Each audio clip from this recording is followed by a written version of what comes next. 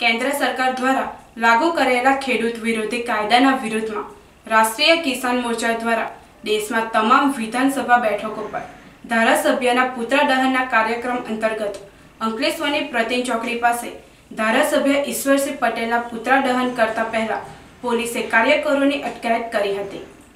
ભારત સરકારે લાગુ કરેલા નવા ત્રણ કાયદાઓના વિરોધમાં રાષ્ટ્રીય કિસાન મોરચા તરફથી સમગ્ર ભારત દેશમાં તમામ વિધાનસભા બેઠકો પર ધારાસભ્યોના પૂતળાનું દહનનું આયોજન કરવામાં આવ્યું હતું.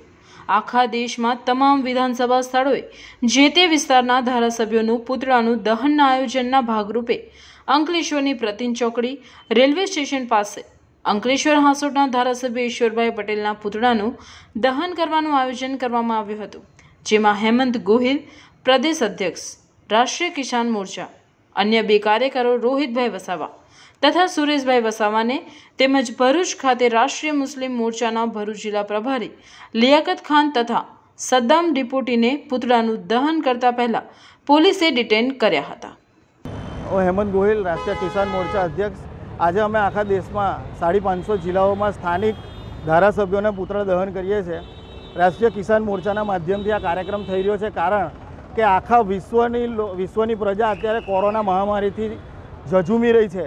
ભારત સરકાર પોતે એક બાજુ એવું કરી રહી છે કે દરેક માણસ અત્યારે જીવ બચાવે, કામ વગર બહાર ના નીકળે. તો ભારત દેશની બ્રાહ્મણવાદી સરકાર આજે લોકડાઉનના પીરિયડમાં જ્યારે એક માણસ પોતે બહાર નહીં નીકળી શકતો, તો સંસદ બંધ રાખી અને પોતે અધ્યાદેશ લાવી રહી છે ખેડૂતોની વિરુદ્ધનો. ખેડૂતોની વિરુદ્ધનો, બંધારણ વિરુદ્ધનો અધ્યાદેશ. કે માણસ ખેડૂતનો માલ એપીએમસીની બહાર વેચી શકાશે. એની પર કોઈ ટેક્સ નહીં લાગે.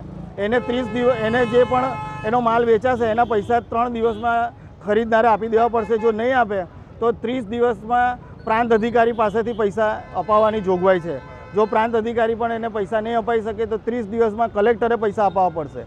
એનો મતલબ કે આજે જે માલ ખેડૂત વેચશે, સાહીઠ દિવસ પછી એને ખબર પડશે કે મારા માલનું મને પૈસા મળવાના છે કે નહીં. અને જો નહીં મળે પૈસા તો પહેલી વાર એવું થઈ રહ્યું છે આઝાદ ભારતના ઇતિહાસમાં કે એ ખેડૂત પોતે ન્યાય મેળવવા માટે કોર્ટમાં નહીં જાય. જેની સાથે છેતરપિંડી થાય છે.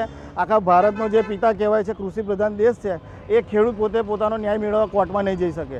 બીજો જે અધ્યાદેશ છે, એ સરકાર એવો લાવી રહી છે કે કોન્ટ્રાક્ટ ફાર્મિંગને એને સંશોધન કરીને વધારે જાગૃત કરી દીધું છે, કોર્પોરેટ હાઉસ હાથમાં આપી દીધું છે.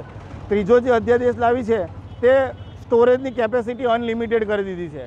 અત્યાર સુધી નાના મોટા વેપારીઓ હતા એ બે ટન, પાંચ ટન બટાકા ડુંગળી સ્ટોરેજ કરી શકતા હતા. નાના સ્ટોરેજ કેપેસિટી છે આપણા ખેડૂતોની, વેપારીઓની. અને પછી એનું બહુ મોટા ભાવે કાળા બજાર થશે. એનાથી ખેડૂતની કમર ભાંગી જશે, ખેડૂતને નુકસાન થશે એટલે એસસી એસટી અને ઓબીસી આ ત્રણે, ત્રણ લોકોને મૂળ નિવાસી, ધર્મ પરિવર્તિત લોકોને અસર થશે. આનાથી પંદર ટકા લોકો જે ક્રીમ વર્ગમાં આવે છે, ભારત દેશના શાસકો છે, એને કોઈ અસર થવાની નથી અને મૂળ નિવાસી પ્રજા મરી જવાની છે.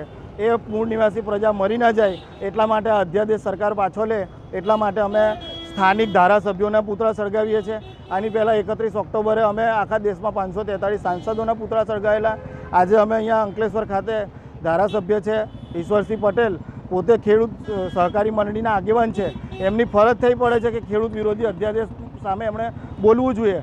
પણ એ ખેડૂતોના નહીં પણ સરકારના પ્રતિનિધિ ભાજપના પ્રતિનિધિ બની ગયા છે તો અમે આજે એમનું પુતળા દહન કરવાના છે થોડી વારમાં इस वीडियो को लाइक करें हमारे चैनल को सब्सक्राइब कर बेल आइकन जरूर प्रेस करें हमारी न्यू वीडियो सबसे पहले देखने के लिए